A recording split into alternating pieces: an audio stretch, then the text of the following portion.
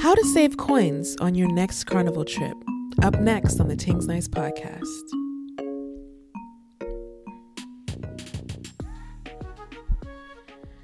Contrary to popular belief, there is no one way or right way to do carnival.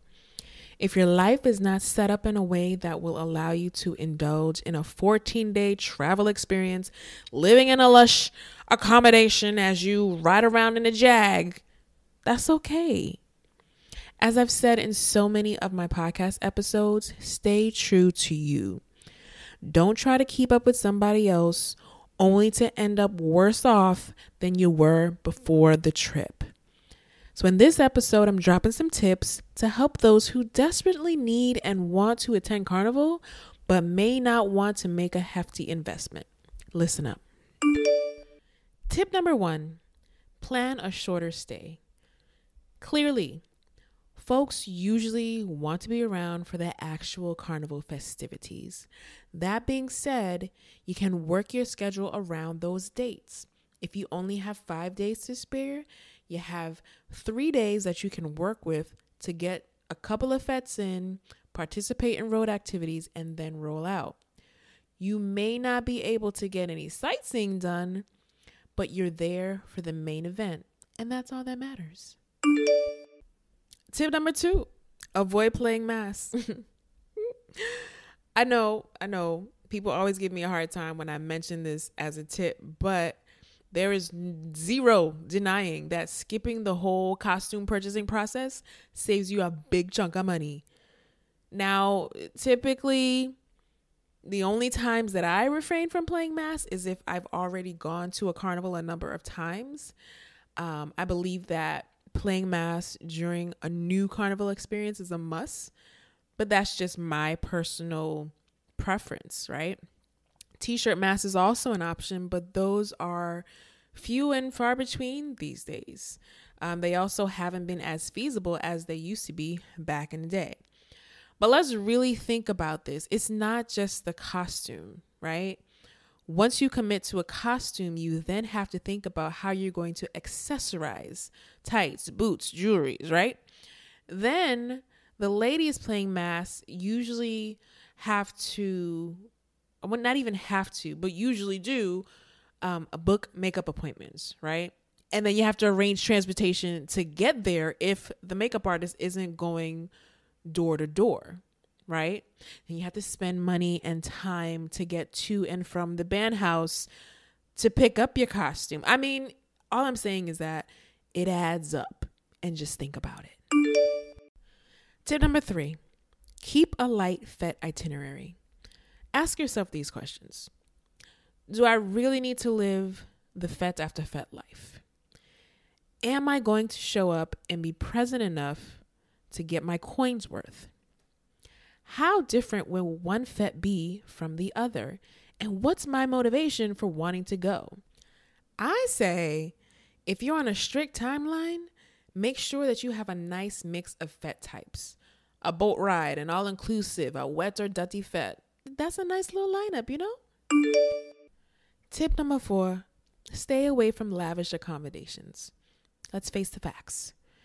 You need a quality place to lay your head down and get ready in between events. You do not need to stay at the Ritz Carlton if it's not within your means.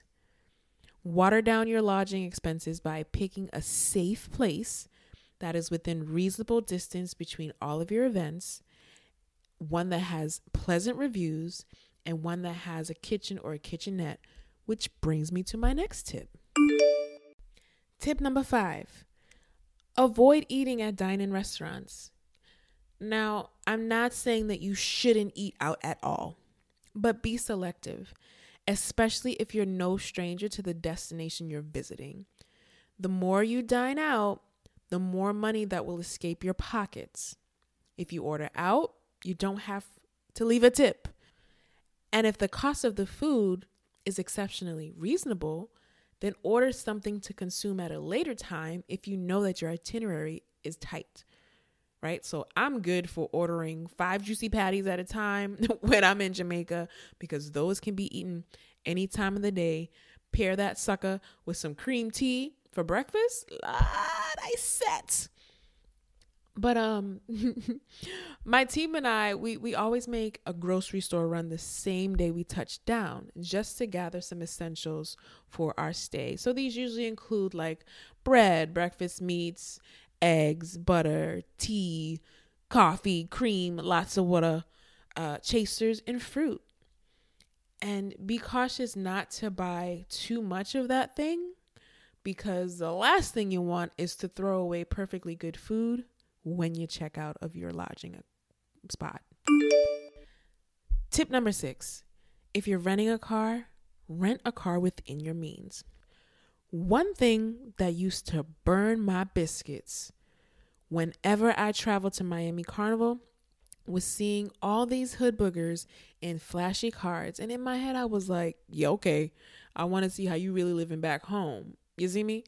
Like, I just want to get from point A to point B in a nice little car that doesn't look broke up. And I'm not I'm not trying to impress nobody, you heard? I'm also not trying to get a car with a big ass gas tank that I have to fill up.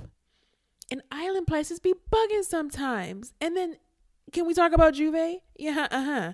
The more basic car the better because paint, mud, oil, and powder are real things. And all I'm saying is just think twice about it. That's it. Think twice. Tip number seven travel with like minded, money conscious friends. I did not say cheap. Full disclaimer. Again, like minded, money conscious friends is not interchangeable with the word cheap. Cheap group members are almost always not welcomed. All right. Everyone is expected to contribute, and it's a beautiful thing when it happens and no one even has to ask. Make sure that your travel squad is solid. It gets very weird when some people have unlimited monetary resources and others are working on a tight budget. But they're afraid to speak up when decisions are being made. Like, where to have dinner, which sightseeing activity to go to, or which car to rent. It's awkward. So make sure everybody's on the same page and that the communication has happened about where you are financially in that group. Tip number eight don't buy so much liquor. But not seriously, don't go crazy at the duty free shops. I have seen far too many unopened liquor bottles get left behind in the Airbnb or hotel because people them eyes were bigger than their stomach. The arrival excitement is so real when you first touch down, but don't let that take away your sensibility. Think about the types of fetes you'll be attending, the length of time in between those events, your luggage condition, and your travel buddies. Are you buying this liquor for yourself or do you expect others to partake? Do y'all even like the same type of liquor? I mean, sure, there may be a sale on a handle, but is that really gonna get finished by the time you leave? Again, all I'm saying is think about it. And tip number nine stay your ass at home. All right, okay, yes, this last tip might be worse than the one about not playing mas, but if you're really tight on coins, just just stay home and wait for the next carnival. I said what I said. It's okay to sit things out. Just I don't know, stay off social media and block everyone that's going so that they don't contact you. You know? All right, all right. So, for the record, these tips are not meant to be used all together. I mean, you can certainly implement most of them at once, but that's definitely not what I'm getting at. I just wanted to provide you with some options that may help you on your next or first carnival adventure. So keep everything that we discussed in mind. Um, you know, don't buy so much liquor. Choosing your travel crew wisely and making sure that everybody's on the same page. Renting a car within your means. Um, avoid eating at dine in restaurants, staying away from lavish accommodations, uh, keeping a fairly light fete itinerary, I know it's not popular, but avoid playing mas is an option because that can come with some some hefty uh some hefty coin responsibilities and and you can also just plan a shorter stay. So again, keep that information in mind if you found this episode to be helpful in any way or entertaining. Make sure to give us a lovely rating on Apple Podcasts and on Spotify. If you have questions about anything in this episode, be sure to hit me up in the comments. Be sure to DM me on Instagram. That is where I live mostly. So, again, shout out to you for listening to this episode. Hope you found it enjoyable. Until next time.